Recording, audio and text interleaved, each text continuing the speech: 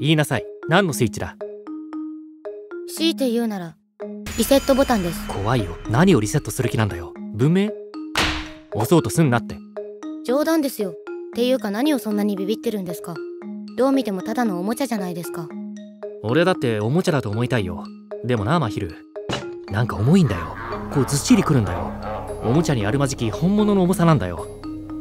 言いなさいマヒル爆発系か毒ガス系かどっちだ？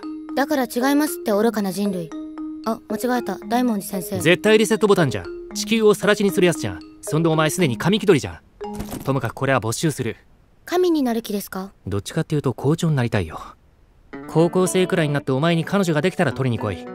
愛する女ができたらリセットしようなんて気になくなるから。わかりました。大文字先生さようなら。はい。さようなら。